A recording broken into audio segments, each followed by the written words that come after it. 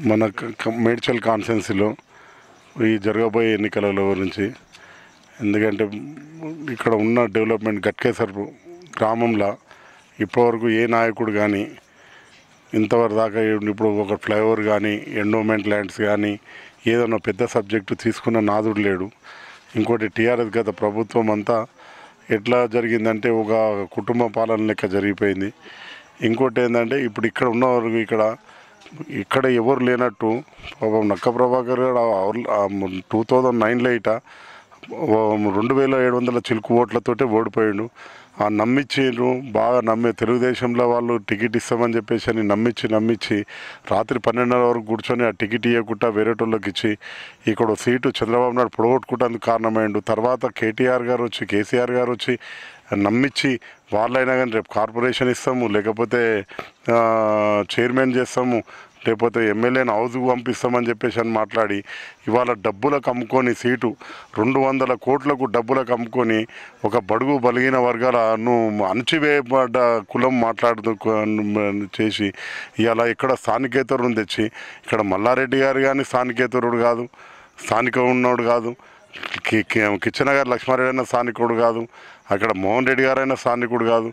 అయితే ఇక్కడ లేనట్టు ఏదో గొడ్డు పోయినట్టు మేడ్చల్ కాన్స్టెన్సీలో బీసీలు ఇంతమంది ఉండంగా ఇట అక్కడ ఇక్కడ నక్క ప్రభాకర్కు టికెట్ ఇవ్వకుండా మోసం చేసి అయినా కానీ ఇంత ప్రజలల్లో గుండెలల్లో ఉన్న వ్యక్తికి ఈ రెండు వందల కోట్లకు రేపు బలహీన వర్గాలు ఎవరు రేపు రాజకీయం చేసే పరిస్థితి లేదు.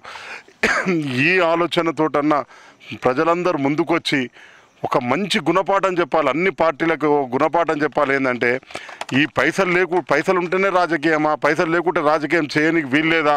మనమంతా ఎక్కడ పోతున్నాం? ఎక్కడ దేశమంతా ఎక్కడెక్కడో పోతున్నాము. బీసీ అంటారు ఎస్సీ అంటున్నారు ఎస్టీ అంటారు మైనార్టీలు అంటారు.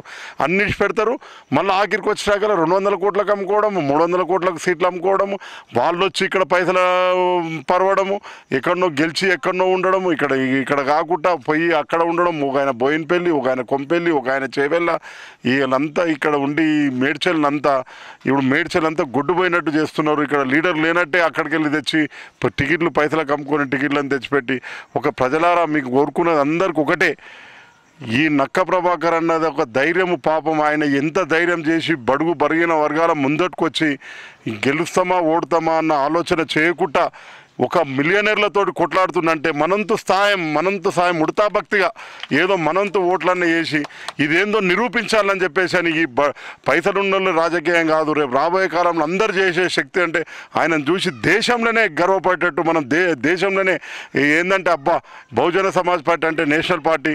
దేశంలో ఈట ఇంత ముగ్గురు రెడ్డులను ముగ్గురు నాయకులను వాళ్ళు మిలియనర్లు కాలేజీలు ఉన్నాయి ఇండస్ట్రీస్ ఉన్నాయి ఇంతమందిని కాదని చెప్పేసి ఇట ప్రజలు గుణపాఠం చెప్పి ఈయనను గెలిపిస్తే దేశ చరిత్రలనే ఒక గుణపాఠం చెప్పినట్టు అవుతుందని చెప్పేసి అని అందరికీ పేరు పేరున నమస్కరించి ఒక బడుగు బరిగిన వర్గాల ఆశాజ్యోతి ఎస్సీ ఎస్టీ మైనార్టీల ఆశాజ్యోతి అందరం మనమన్న బుద్ధి చెప్పేటందుకు రావాలని చెప్పేసి అని అందరూ ఒక అడుగు ఉడతా భక్తికి ఒక అడుగు ముందుకేస్తే దేశ చరిత్రనే ప్రభాకర్ గౌడ్ నిలబడిపోతాడు ఇలా పోరాడుతున్నందుకు మనంతో సాయం మనం చేయాలని చెప్పేసి అందరికీ పేరు పేరున శిరస్సు వంచి నమస్కారాలు తెలియజేస్తున్నాను.